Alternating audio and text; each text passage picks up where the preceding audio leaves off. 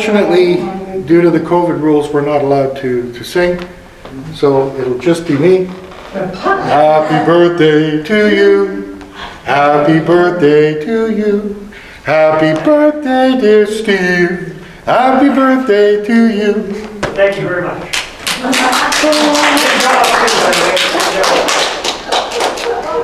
I'd like to welcome everybody here. It's great to be back face to face again, isn't it?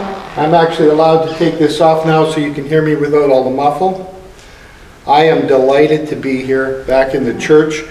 It's very difficult when we're separated by distance and uh, the only connection we have is on the computer and some of us don't actually even use computers. So it's like a real separation that happens. So getting back together into fellowship just really encourages my heart. How about you guys? It's good, isn't it? I'd like to thank you for being faithful and being here this morning. I really appreciate it. It's encouraging. Well, you guys, happy Father's Day. Happy Father's Day. You've all done a great job. What- What's the matter, Eric? Mike, um. Oh, my mic, thank you. Yeah, so happy Father's Day, everybody. Um, It's a wonderful thing. I have to be careful because before I had um, some single moms. And so I wish them happy Father's Day too. They're doing both jobs, why not? Right, it's a hard job, it's a hard go of it. I was a single dad for a little while, and I'll tell you, it was uh, a difficult time in my life.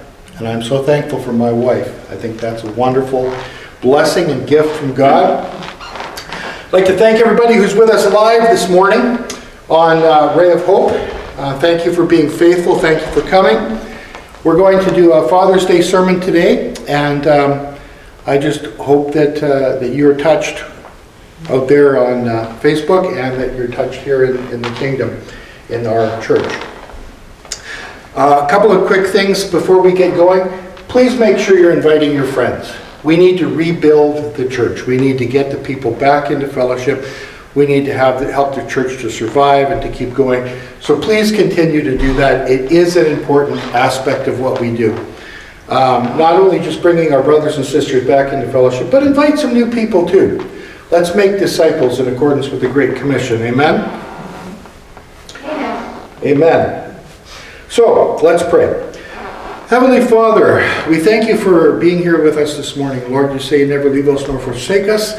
And we thank you, God, because you are such an amazing God.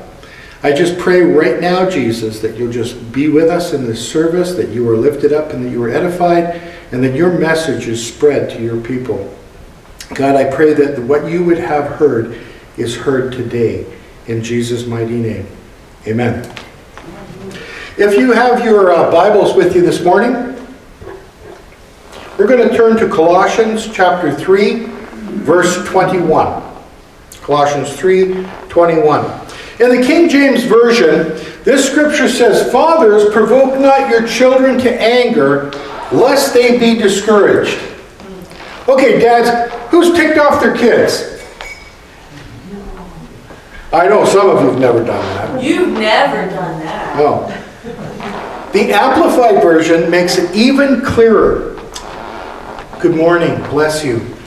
Fathers, do not provoke or irritate or exasperate your children with demands that are trivial or unreasonable or humiliating or abusive, nor by favoritism or indifference. Treat them tenderly with loving kindness so they will not lose heart and become discouraged or unmotivated with their spirits broken. I love the Amplified Bible. They do a lot of research into what's actually being said in context. Their exegesis is really excellent. And so we are called to be an encouragement to our families. Right, guys? Now, most sermons are kind of negative when it comes to Father's Day. It's more like an exhortation or an admonishment. You know, do the best you can, uh, be good, you know, be solid, be strong.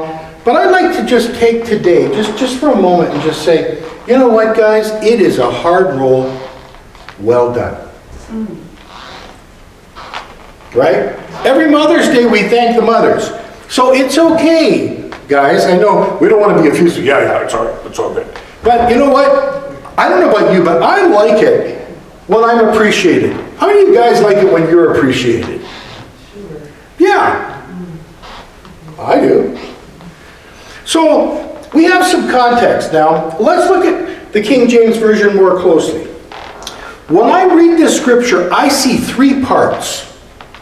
Three parts. Go over it again. Fathers, provoke not your children to anger, lest they be discouraged. Okay? First, there's the context regarding whom it is addressing. In this case, fathers. Right? Second, all fathers are given a command. Do not provoke your children. And third, we're told why we as fathers receive this command lest they become discouraged. Now, I don't think there's a father in this place that's ever wanted to see their kids discouraged. I don't think there's many fathers that are like that. If you've experienced a father that's like that, I pray that the Lord heal your heart. We have a tremendous Father, amen?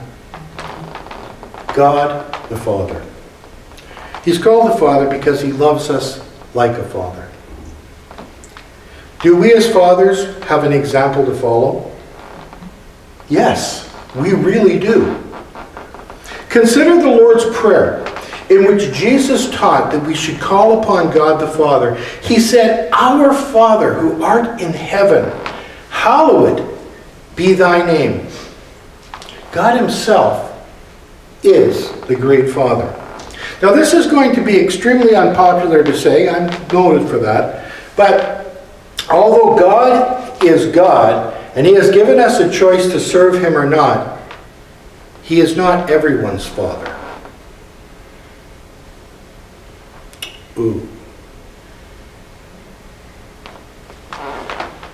He's not everyone's Father. He could be, but he doesn't interfere with the free will of man. I ask you to consider two scriptures this morning. John 8, 42 to 44. That's John 8, 42 to 44. It says this Jesus told them, If God were your father, notice what he says there. If God were your father, you would love me because I have come to you from God. I am not here on my own, but he sent me. Why can't you understand what I'm saying? It's because you can't even hear me, for you are children of your father, the devil. Ouch. And you love to do the things he does. He was a murderer from the beginning, and he has always hated the truth because there's no truth in him. When he lies, it is consistent with his character, for he is a liar and the father of lies. Now, when a person is out there and the God that they are serving is mammon, money, okay? How many of you have seen stories on the television or heard examples or maybe even have friends where they've been in school, they've had a concert, or they play on sports and they have a game, and their father never shows up? Now, I'm not talking, sometimes you can't do that. You got to make hay when the sun shines. Sometimes you can't be there. But never comes. How many have had uh, examples or seen examples where a father has uh, set up a camping trip or something like that, and then he's always down at the bottom of the hill on the phone with his company instead of actually being with his family? Anybody else ever heard of those things? Those things are damaging. What message do you think that's giving to the children? Even to the young adults? That my business, what I'm doing, my making of money is more important than spending time with you. Now, please understand, I get it. Sometimes we got to pay the bills. Sometimes we got to make hay when sun shines. But there's an attitude when a father wants to be with their children and when they eschew their family. Who knows what I'm talking about? Sometimes marriages wind up in divorce because sometimes it's not just the children, it's the wives that are not taken care of. Who thinks that's the example of a good father? That's what I thought. Neither do I. How about when a dad says, Oh, yeah, I'll be there for your game. I'll be there. And then they never show up. Or I'll be there for your birthday. And they don't come. These men are not following the example of God the Father. God the Father says He will never leave us or forsake us. He is always with us. He is comforting, He is guiding, He is leading us each and every day. I thank the Lord that He's given us the example of how to be a good father. So, in that scripture in John 8 42 to 44, we saw Jesus saying that God the Father is not the Father of those who do not love Him. That's kind of radical, isn't it? Because a lot of places teach that God is the Father of all. And in a sense, that's true. It's true for those who accept Him. It's true for those who recognize Him as their Father. But the truth is, is that there are those people out there whose Father is not God the Father, but rather the Father of lies. I want to look at the book of Romans, chapter 8, verses 9 to 15 this morning. Romans 8, 9 to 15. But you are not controlled by your sinful nature. You are controlled by the Spirit. If you have the Spirit of God living in you, and remember that those who do not have the Spirit of Christ living in them do not belong to Him at all.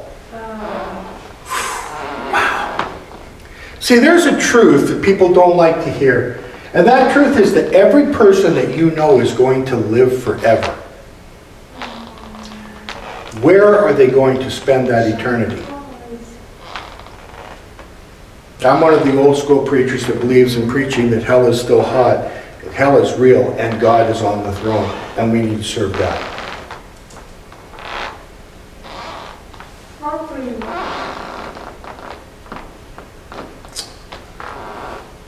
Christ lives within you. So even though your body will die because of sin, the Spirit gives you life because you have been made right with God. The Spirit of God who raised Jesus from the dead lives in you. That sounded a bit Gnostic. I didn't mean it that way, but. But the Spirit of God who raised Jesus from the dead lives in you. And just as God raised Christ Jesus from the dead, he will give life to your mortal bodies by this same Spirit living within you. Who's thankful for that this morning? Me too. Praise God. That's awesome. Therefore, dear brothers and sisters, you have no obligation to do what your sinful nature urges you to do, for if you live by its dictates, you will die. Wages of sin, right? But if through the power of the Spirit you put death to the deeds of your sinful nature, you will live. For all who are led by the Spirit of God are children of God. I had one person say to me, Well, Pastor Ray, isn't that kind of exclusionary? I mean, in our culture today, we accept everybody and we accept all these people and whatnot. How can you exclude people from this membership in the kingdom? And the answer I have for them is very simple I am not excluding you at all. You are choosing not to be a part of the kingdom. So you've not received a spirit that makes you fearful slaves. Instead, you received God's Spirit when He adopted you as His own children. Now we call Him Abba Father. I think that's so cool. Abba Father. It's so cool, I'll say it backwards. Abba. Abba. Abba means father. Did you know that? Not to be confused with the 70s singing group. Who knows what I'm talking about? Anybody? Am I talking about, yeah, because I talked to my doctor last week, and I said to her, yeah, I hear you on FM. And she's like, what? What does that mean? Seriously? I'm hearing you on FM. Well, you gave me the 411 and I hear you on FM, right? For many of us, we know that that's you gave me the information and I hear you loud and clear. She didn't get it until I said, I hear you on XM. I go, strange. She said, well, I'm not very old, but I get what you're saying. I'm thinking to myself, she's 10 years younger than I am. Who remembers that expression? Does anybody remember I hear you on FM? Julie? No, you don't remember it? May God! No, really? I know, I never, I didn't that before. I don't know where the I was, but. I think over the years, expressions and things we use come and go. Who remembers gag me with a spoon? It was these Valley girls out of California. And specifically, it was run by a, a, a girl, uh, Frank Zappa's daughter. Frank Zappa's a musician. And Frank Zappa's daughter, Moon Unit, I know, her name was Moon Unit and her brother's name was Dweezil. But she had this thing and she would say, oh, gag me with a spoon. And I was in high school at the time. Uh, it tells you how old I am, but I was in high school at the time and we came up with this thing called the Mountain Boys. And we used to say, gag me with a bear paw, right? And we used to make fun of this thing because it was so outrageous and outlandish. I think the secret, and what I'm getting at here to good communication, is that the message that we're giving out is actually the message that's received. As fathers, we want the message that we give to our children to be received by our children with the heart and the intent in which we give it, don't we? And so taking the time and effort to be clear with our kids is important. Now, my daughter said to me the other day, sorry, Harry, but I'm going to throw it out there. She said to me, Dad, you know that teenage, Dad, she's 29 years old, Dad. No hissing, sharp claws. It was, it was funny because she was trying to communicate to me that she's 29 years old now and she doesn't need that fathering anymore. I'm an adult now. Okay, I'm going to ask dads by a show of hands. How many of you have stopped fathering when your kids became like 20 years old? No? Dang it. It never ends. I am 55 years old and I still have a father and mother and I still respect them and I still listen to them and I still hear their guidance. The role of a father doesn't end when you become an adult. It simply changes. Where I used to say, don't do that anymore, Ariana. Now it's, my dear daughter, my advice to you is this. And I've stepped in my role from being the authoritarian, controlling individual, king of my house, to a role of advisor. Dads, who's been there? It's a hard thing to do, isn't it? Where you step back and you become an advisor instead of the guy saying, don't do this. And I think it shows that transition between teenage years and adulthood, where our role shifts, but it doesn't diminish. And I think that our God the Father, when we're young kids and when we first come to the kingdom, we see a lot of don't do this and don't do that and do this and so forth, and we get a lot strong guidance.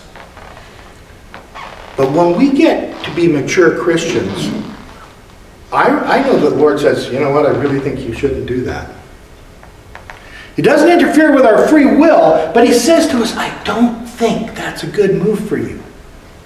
And let me tell you a little secret. When God says, I don't think it's a good idea, it's not a good idea. because he's really sure. Who's ever been on their knees and, and asked God for advice on going somewhere and doing something? And it doesn't matter whether you're 20, whether you're 12, whether you're 50, God is going to give you direction. If you are truly seeking His face, He is going to tell you what you do with that information is up to you. And you're not free of the consequences. Does that mean you're going to lose your salvation? No. Does that mean that you're now sinning? No. What it means is you've made a mistake.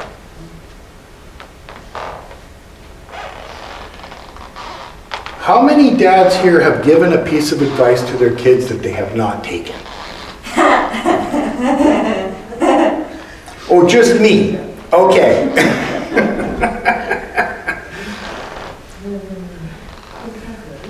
How does it make your heart feel when you see them struggling as a result? Does it grieve your heart? Yeah, it does. But they still have the right to make those choices. How does it make your heart feel when they listen and they're successful and, and, and they, they, they embrace all that God has for them and their life is just rocking and they're seeing things come together and their footsteps are ordered to the Lord and you see all these things happening. How does that make you feel, dads? How do you feel? For me, it makes me feel like I have been a success in guiding my child on the journey to listening to God the Father. Mm-hmm. Should I give up because I failed once? No. We just keep trying, right? Just keep picking it up.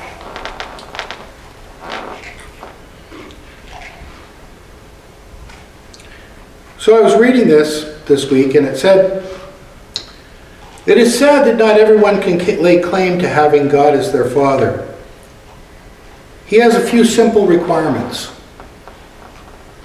First, John 1:12. First you must receive Christ. For God the Father to be your Father, you need to receive Christ. John 1:13. You must be born of God. Romans 8 and 14. You must be led by the Spirit. This is the hard one. A lot of people can lay claim, claim to receiving Christ. A lot of people can lay claim to being born of God. But seriously, you must be led by the Spirit. Why is that such a hard one? Who can tell me? Because you're laying down your own will. That's exactly right. You have to be obedient, and in order to do that, you got to put your will to bed and listen to the Father. Young folks, how hard is it to put your own will to bed and listen to your Father? Really difficult. It's hard sometimes. If you think you're right, and especially if you're over like 18 years old, I laugh. you, you, you, know, you know what I'm talking about. Yep. You got to be led by the Spirit. Now, if you turn with me to Matthew chapter 7, verse 11. If you then, who are evil, know how to give good gifts to your children, how much more will your Father who is in heaven good, good, give good things to those who ask him? Matthew 7, 11. If you then, who are evil, know how to give good gifts to your children, how much more will your Father who is in heaven good gifts, give good gift things to those who ask him? That's powerful. Is God good? Yes. Is God good all the time? Yes. Does it feel to us like he's good all the time? No. No.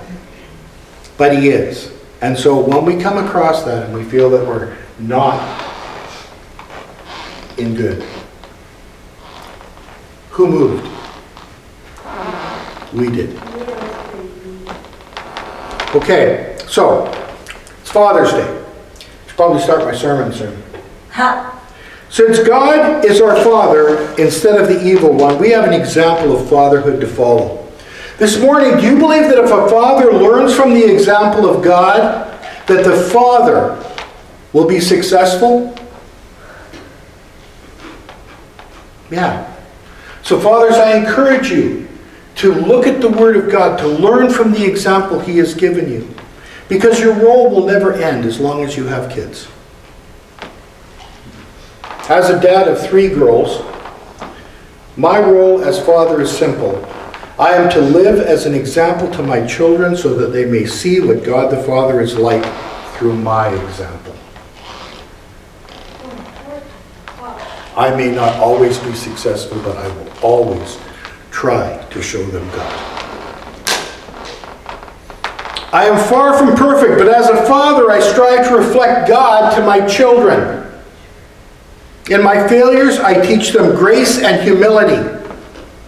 In my accomplishments, I teach them to strive for the mark. It's what I'm striving for. And here's a heads up for every parent the kids are watching, the young adults are watching.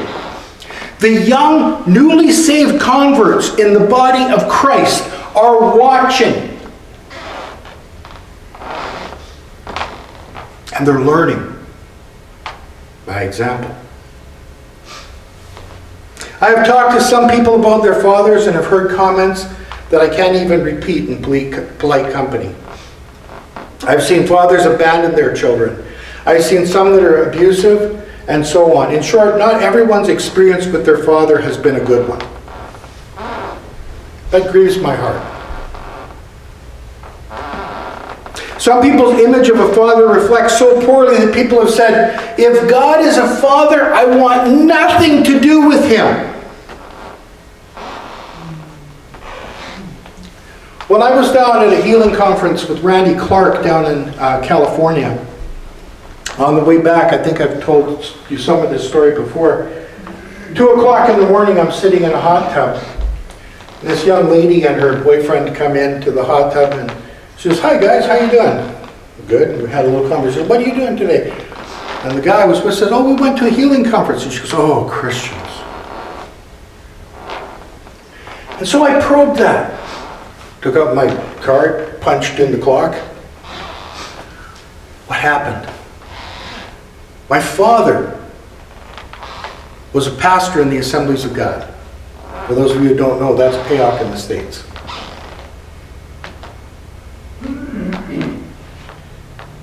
And she said, and he abused me terribly.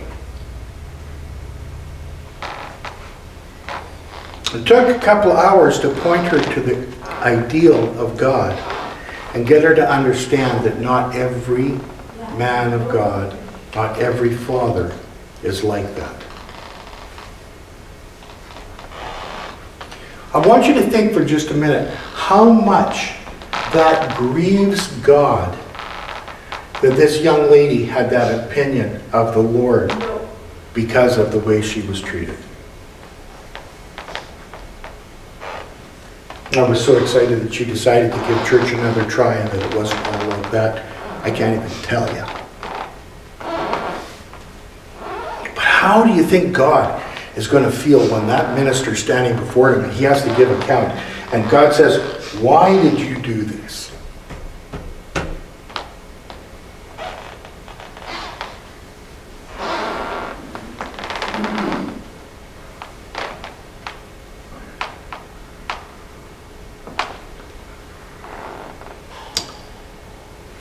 If thoughts of your father bring you frustration, anger, and sadness, you can overcome this. You can have the joy of the Lord. God offers his fatherhood to those who accept him as their divine father. He freely offers this gift to all who receive his son Jesus and are willing to be led by the Holy Spirit.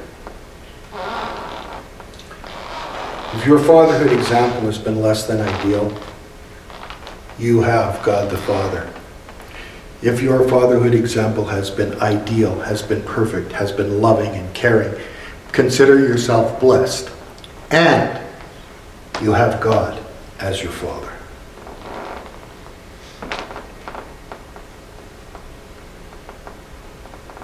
So it says, don't discourage your kids. Fathers, don't provoke your children lest they become discouraged. My daughter's always on me. She gets frustrated because we're driving down the road and I'll reach over and thump her on the arm. Oh, me, yes. Not hard. It's like a love tap. But I do it because I know it annoys my daughter. I get a reaction every single time. She's like, Dad, will you stop that?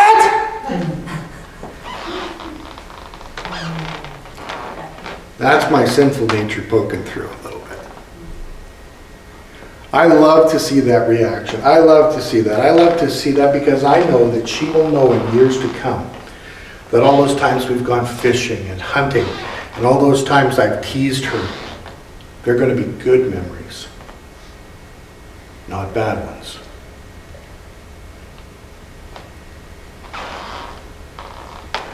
I remember one of the ladies in the church hearing about that. She goes, That would drive me absolutely bananas if you did that. and to be honest, I've stopped it in later years, but it used to drive her nuts. Guys, when you bug your kids and they have this huge reaction, does it motivate you to do it more? Yeah? What about you? Is it? I don't know that I, I can't put my finger on something like that that I do all the time. You were a good man. He knows how to push my buttons. Oh, yeah, that's, that's a whole different conversation. Okay, well, we can shift gears to that one. Pushing buttons on the wife. How about that one? That's a very accurate. We do it because it's fun, don't we? And yet, in all honesty, God says, hey, don't discourage your kids. Husbands, love your wives as Christ so loved the church and gave himself for her. Maybe it's a little of the flesh creeping in, maybe it's just a little bit of fun. I don't know. I'm not going to condemn it. I just think that it's a blast just to tease my kid. Who's ever tickled their kids? Oh, I gotta get you with something. Tickling their kids. I loved to tickle my kids when they were little girls. They'd run around and I'd chase them and who's had the, the claw? The tickle monster. Who has an example of something that their father did with them that they will remember as a good memory like that? Anybody? Go ahead. We share? oh. What was that? I said, did you want me to share? Yes, please. I just remember, when I was probably about five or six or so, uh, it was wintertime. And Dad said, oh, if you guys can throw a snowball into the bucket that he put over here, I'll give you 10 cents for every snowball you put in the bucket. So I was missing it because I couldn't, you know, so he let me stand really close to the bucket. And yeah, it was good, it was fun. That's a great memory, isn't it? Yeah, and each one of those incidences and things like that, they build that rapport, right? Here's this bucket, and you're throwing the snowball in, and you're getting a reward for it. How many of us have examples like that, like that with God? Where God has said, hey, come and do this, and I will give you a reward. Anybody ever had that? I have. Ray, start church and I'll give you a paycheck. Oh, hey, thanks. no, I, I- I just, I think our God, at least in my experience, is a loving and caring God. And no matter what we do, He always tries to put us on the right track. Has anyone ever heard the expression, I'm coming up there in two minutes and that room better be cleaned up?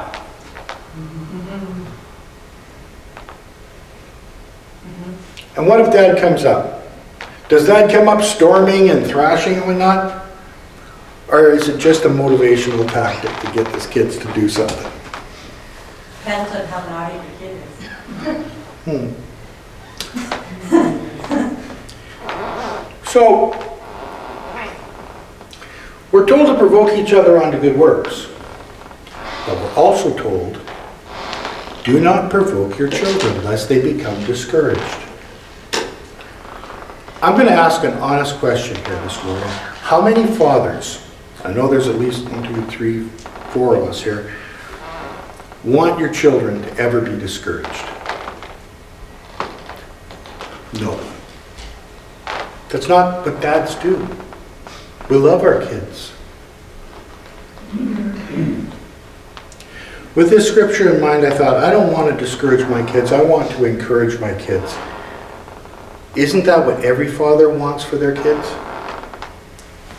Unfortunately, no. Yet as good fathers, we want to teach our kids to have a hope when they feel discouraged. We want them to be happy. We want them to be confident. We want them to be full of the joy of life. So if I'm told not to discourage, then I can actually look at this from the positive sense of Scripture and not just avoid discouragement, but like the good father, I will be there to encourage. I will be there to lift up and edify my kids. I will look at what they're doing for the Lord and I will say, Well done, my son. Well done, my daughter. I will be there to lift them up every opportunity I, ha- I have. Oh, you've got a job. Good for you. Your first car. Praise the Lord. You were diligent strived for this and you achieved your goal. Well done.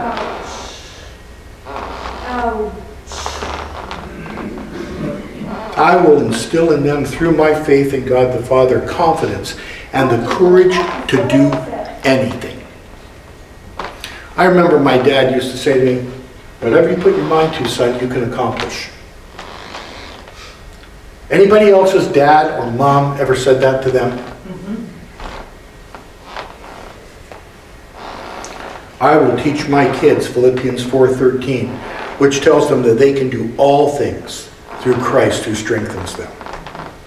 Seems pretty obvious, doesn't it? Seems like common sense. Problem is, common sense isn't common anymore. Let me add a little insight to take this beyond a lesson in fatherhood. Corinthians 2, verses 9 to 13. That's Corinthians 2, 9 to 13. But as it is written, what no eye has seen, nor ear heard, nor the heart of man imagined, what God has prepared for those who love him. These things God has revealed to us through the Spirit. For the Spirit teaches everything, even the depths of God. For who knows a person's thoughts except the Spirit of that person which is in him? So also, no one comprehends the thoughts of God except the Spirit of God. Now we have received not the Spirit of the world, but the Spirit who is from God, that we might understand the things freely given to us by God. And we impart this in words not taught by human wisdom, but by taught by the Spirit, interpreting spiritual truths to those who are spiritual. What do you think the Apostle Paul means when he says that we're to give hope instead of discouragement?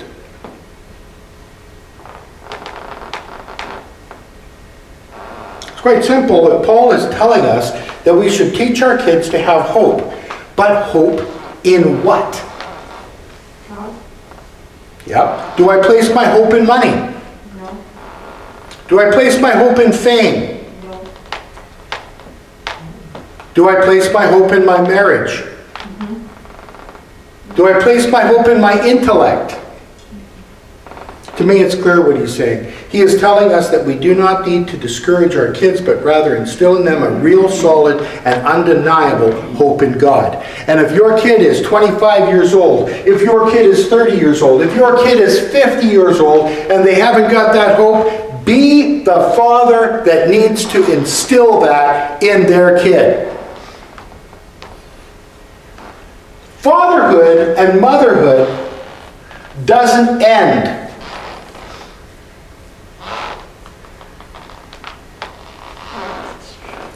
Fathers, we need to exemplify God in our actions. We need to show our children hope in God. And we need to show this through our own hope in God. Kids start learning even before the lessons are taught by observation. So if mom and dad are going through a tough time, the kids are going to pay attention. They're going to be watching how you deal with it.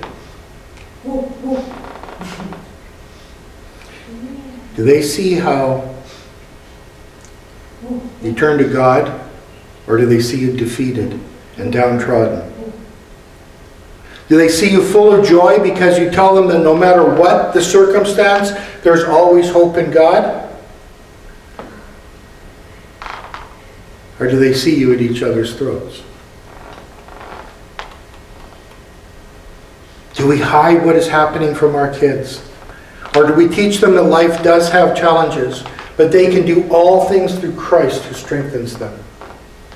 Do we allow ourselves to become discouraged? Or do we determine that even if we are feeling discouraged, that we will trust God? I'm a firm believer in building up a child's confidence to accomplish whatever they desire in life. But let me ask you yet another question. As a father this morning, do you stop at instilling confidence in themselves to the child, or do we instill confidence in God in our children? See, I know as a dad, I may fail, I may make mistakes, but I know that I have a solid anchor in Jesus Christ as God the Father, as an example to my children. Man, if we're trying to be godlike in our actions and in our deeds, that's great. But the truth is, we may fail at times. But if we can connect our children to God, God never fails. There's always hope in God. And I'm going to throw this in there. It's not in my sermon, but I'm going to throw it in there. How we deal with failure as men and fathers is how our children are going to see how we deal with failure. And if we deal with it with love and grace and humility, our children are going to see that too.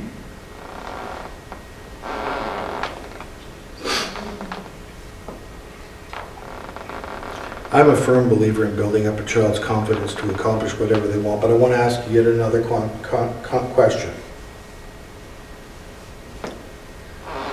Do you want your children to have faith in you? Or do you want your children to have faith in you and a father?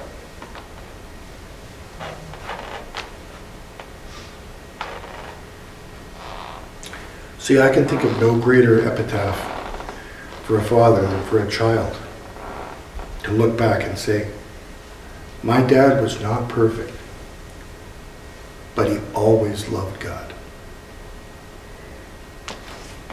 And that is the example that I will take away. Because as human beings, we may fail. We may not be perfect. But when we know that we have a God who is faithful and just to forgive us our sins, who's ready to pick us up, to encourage us, to lead us and guide us, when we instill that trust and that belief in our children, we have been successful.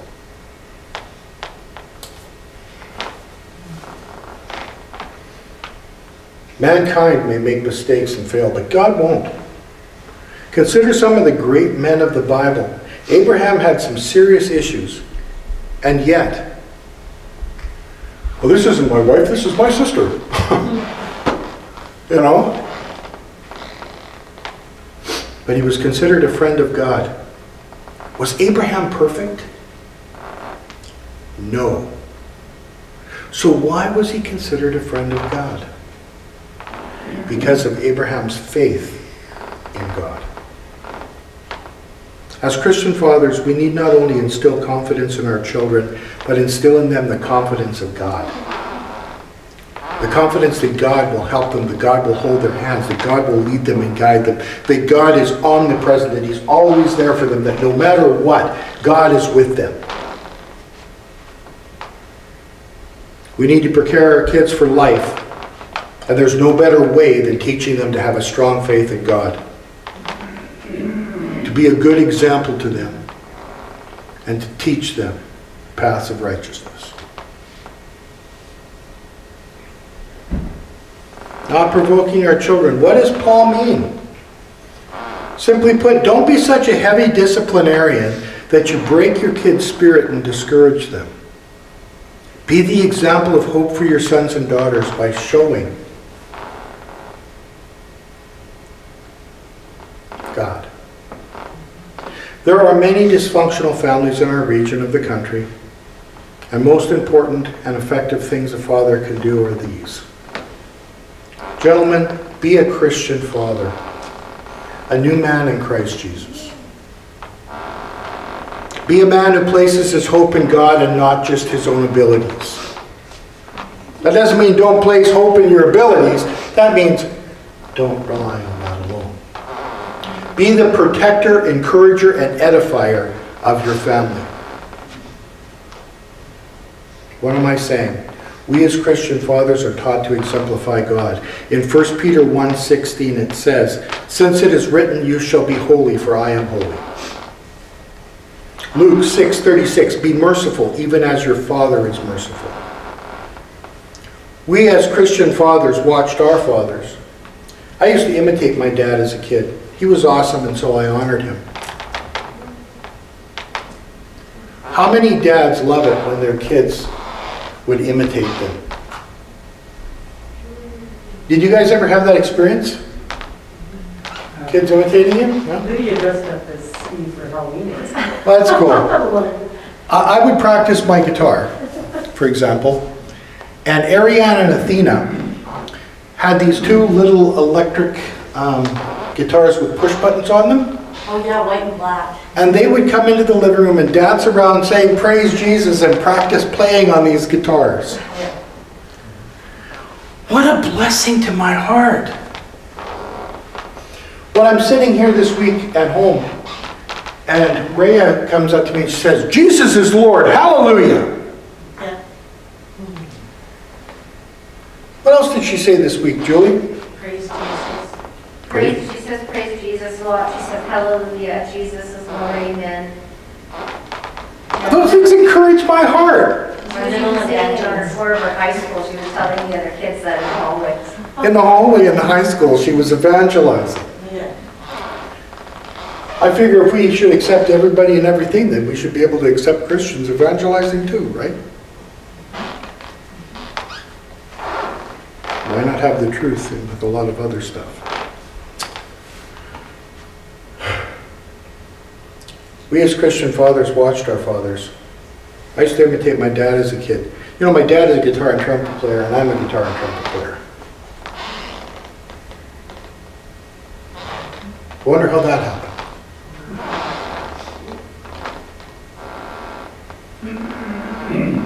Young guys, you ever do anything that your dad does? Yeah. We inherit those things. Many of us desire to teach our children and do so and enjoy the process to see our kids develop. This is important. But to me, even more than teaching my child, I need to know who I am before God and what my relationship to my Heavenly Father is like because my children are watching. Do as I say, not as I do is often heard, but that's a cop out on our responsibilities as fathers.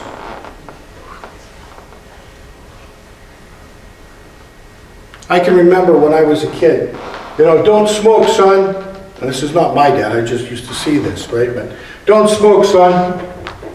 I remember Dr. Wilson our old country doctor in Williams Lake, telling my mother, you should not smoke, it's bad for your health, health, as he lit up his pipe in the office.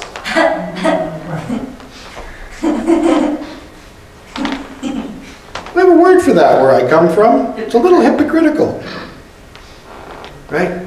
Do as I say, not as I do. We are being watched. We need to be good examples.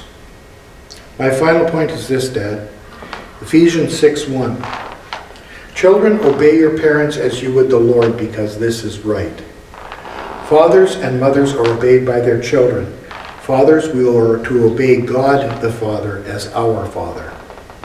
Fathers, you are the head of the home. You are to be the protector of your family, to take responsibility for the moral life of your family. This morning, I urge you to strongly consider what has been said today, to take up that responsibility and to bring hope and encouragement to your family. And I'm sure many of you already have and are.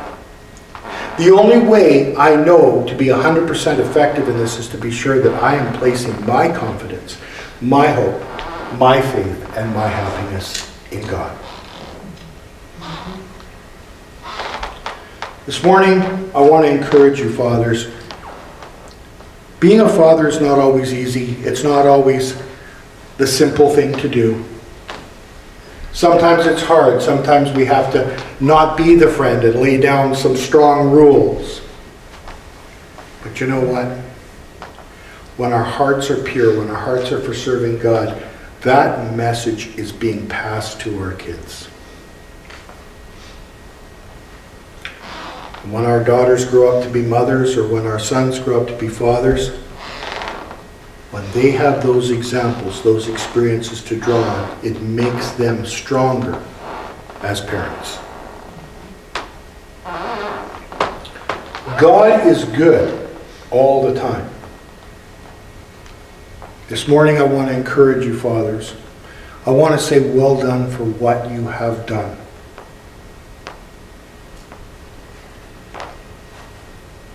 If you feel that there's somewhere or some way that you have not been successful, then just pray. Ask God for grace. I know in the past I've made mistakes, and I've just sat down with my kids and I've said, you know what? I messed up. I took this approach and I think this was wrong. I know it's really hard on our pride. I'm speaking from experience. But sometimes rebuilding and showing that you can own where you've messed something up can rebuild faith in situations that are damaged. And I may or not be speaking to any of the men here today, but I know that there are people out there on, on the internet that I'm speaking to where this has significant impact in your lives. And I pray that if you've messed up dramatically with your family, that you just sit down and you make it right. And if you follow the example of God the Father, you can rebuild, you can restore, and you can father your family once again. For those fathers that have left their families, that have abandoned their responsibilities, I encourage you to fix that. Have the rapport with your children. Nobody expects perfection, but you should try. God has been given to us as a great example. And today I just want to encourage you that whether you have a father or not, whether your father is still alive or not, God loves you. He is the great Father, and He stands ready to lead you and to guide you and to help you order your footsteps. If you're lost, a good Father doesn't leave you lost. If you are struggling and you are hungry, a good Father does not leave you hungry.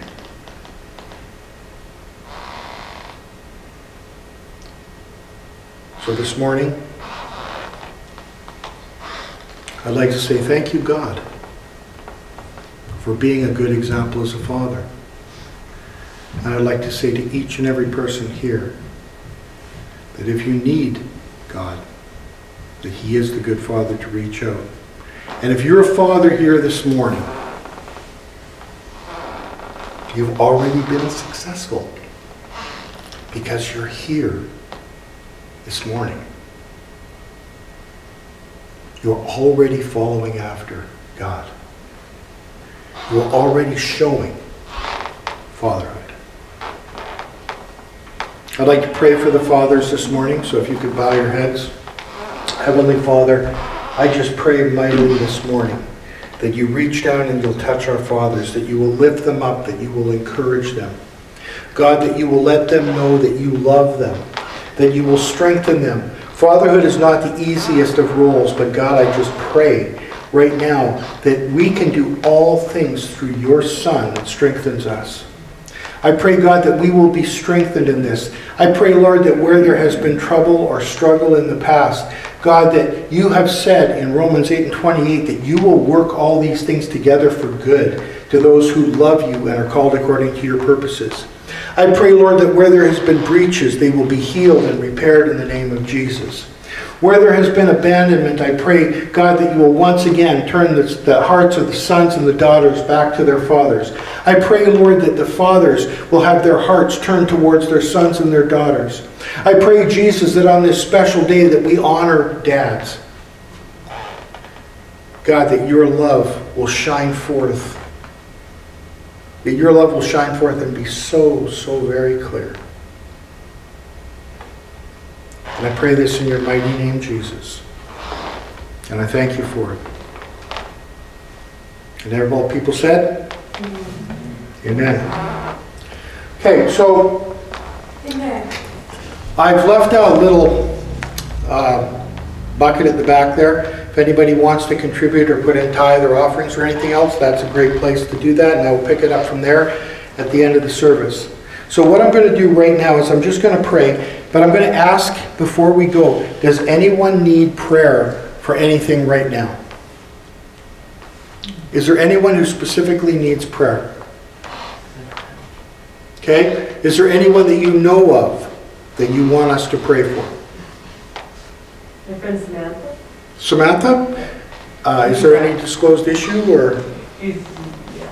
given, I think, six weeks to live or something like that. She's, she's, she's had, she's been battling with cancer for quite a while. I guess went into her pancreas, is that right? Yeah. So, but I, you know, she's, she's a Christian. Mhm. She's, she's at peace. Awesome. It's all good. Um, she's my age. Um, Wow. But, uh, yeah, so I mean, uh, God could heal her or, you know, or, or not, but just if, if he his will, that'd be great. Yes. She's at about knowing where she's going. Well, we're going to pray for her right now. And the thing is, is that um, sometimes God heals, takes us across the veil. Sometimes he heals us here. Yep. So let's pray for her right now. Lord, we bring Samantha before you, God. We first of all pray peace in her heart. Lord, she knows that she's going to be with you. She knows where she's going. Her, her eternity is secured. And we praise you, Jesus, and thank you for that. But Lord, we also know that these times when we're so close uh, to our mortality are very difficult for both us and our families. And so I just pray, Lord, a, a blessing over her family, over her heart. I pray, Jesus, that you will strengthen her.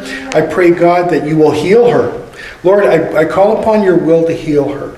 And I just ask, God, that, that you will that you will just touch her family, Lord, that you will bring them peace in this situation, that they know that you're in control. And Jesus, I just ask that you wrap her up in the cords of your love, God, that she feels your presence suffusing her, and that, God, you just are right there with her right now. In Jesus' mighty name we pray. Amen. Is there anybody else before we pray? Yes, ma'am. I think maybe my here, we could use a prayer too. Okay. Heavenly Father, God, our brother Ralph, we just ask right now, Jesus, that you will touch his lungs. God, that you will bless him, that you will heal this up, God, that you will Cause his life to be eased, God, through the easing of this suffering. In fact, God, just heal it right now in Jesus' name. We pray, God. We just ask, Lord, that your divine providence will decide and choose right now, God, to heal Ralph. Lord, we know that it's not within us, but we know that you have the ability to heal. You are the great physician. You have said, by your stripes we are healed. And so, Lord, we bring Ralph to you this morning. In Jesus' name we pray. Amen. Does anyone else want to pray for Ralph? Good. All right. If you're happy with that, then we're good. Okay, so let's pray. Heavenly Father, I thank you for the people that are here this morning. God, I thank you for those people that have come into the service, that have attended, that have encouraged, and, and God, I just thank you that they are here being faithful in fellowship. I just ask right now, Jesus, that you'll bless them. As we go from this place, God, I pray that you will keep them in safeguard. I pray, Lord, that you will just uh, touch their families, that as they go on the highways and the byways, that your host will cover over them and keep them safe as they travel. And I pray, Jesus, a special blessing this week in their hearts. In the mighty name of Jesus. Amen. Self-serving announcement, don't forget to pray for your pastor this week. P.S. That's me. Okay? Please pray for me this week. I covet your prayers. They're very important, and I really feel the difference when you're hedging me up in your prayer. Thank you, everyone. I hope you have an absolutely amazing Father's Day. God bless you. You are dismissed.